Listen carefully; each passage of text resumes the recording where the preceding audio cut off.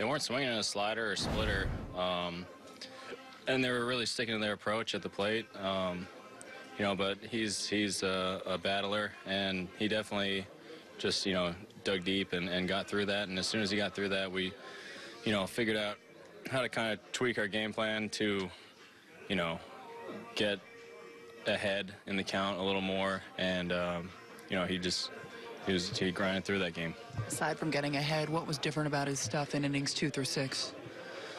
Uh, I mean, when you're ahead, it just opens up a lot of stuff. I mean, it, you know, Say, guys are more. rookie of the year. There's no doubt about it. He's got You know, it's you know, it's, your stuff gets better when you're ahead in the count. So, um, you know, that was that was big for him going forward. And uh, but I mean, you know, like you you guys saw, he wasn't as sharp as as I've seen him, um, but he was still able to to grind out six innings, no runs, and and put up you know a really quality start for us, give us a chance to win.